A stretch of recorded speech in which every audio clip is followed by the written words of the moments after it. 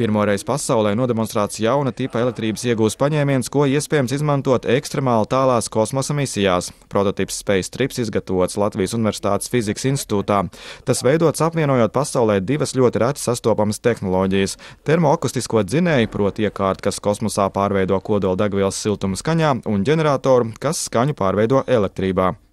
Kas vispār ir termoakustika? Ja? Tā tad te ir mazs demonstrējums stends Tātad man rokās ir parasta caurule, un caurulē iekšā ir ievietots metālisks sietiņš.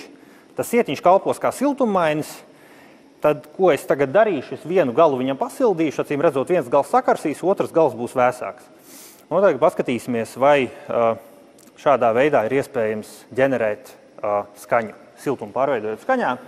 Es viņu tagad pasildīšu pavisam nedaudz līdz varbūt sarkanu kvēlēji. Nu, var redzēt, ka jau sarkans paliek. Ja?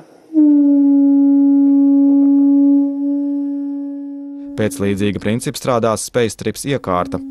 Iekārtā ir divi termoakustiskie dzinēji, tātad divi šie siltuma pārveidotāji skaņā, skaņas ģeneratori. Tie abi ir savienoti cilpā. Šeit augšā redzama cilpa, kur viņi savienoti. Un ideja ir tāda, ka viens inducē, jeb rada skaņas vilni, tas skaņas vilnis izpratās pa cauruli, ieiet, izplatoties, ieiet nākošajā dzinējā, tiek pastiprināts un tādā veidā aiziet apkaļ uz pirmo, veidojot noslēgtu skaņas skreju vilni. Daļa no skaņas jaudas šajos atzaros nozarojās un aiziet taisnā ceļā uz šķidrumu, šķidru metālu, kas ir iekšā ģeneratorā. Šķidru metāla ģeneratorā. Un šis nātrijs, tas runa ir par, par sārmu metālu, ja, tātad svārstās magnētiskā laukā, šurpu turpu, Un tādā veidā spolē izējā mēs varam ģenerēt elektrību. Šīs tehnoloģijas priekšrocība ir tā, ka tajā nav kustīgu, dilstošu detaļu. Vienīgais, kas kustas, ir šķidrs metāls, kā rezultātā nav nepieciešama nekāda tehniska apkope, kas ir ļoti svarīga kosmosa misijās, kuras ilgs desmitiem gadu. Mūsdienās reti kur pasaulē tiek radīta tehnika, kas balstās uz fundamentālu jaunu darbības mehānismu.